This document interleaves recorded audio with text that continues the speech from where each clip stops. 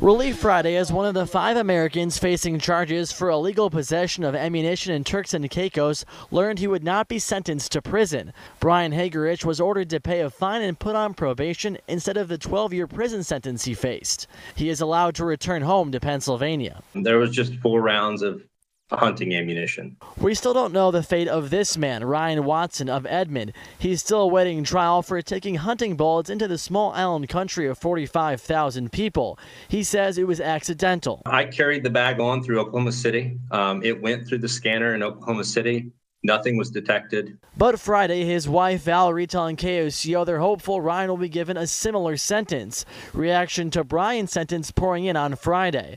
Oklahoma Senator Markwayne Mullin called Hagerich's sentence a step in the right direction that sets a positive precedent for the other Americans awaiting trial. Mullin wants Turks and Caicos to take a look at their ammunition ban that has caused what he calls unintended consequences.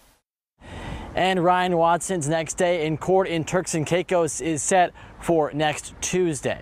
Andy Weber, KOCO 5 News.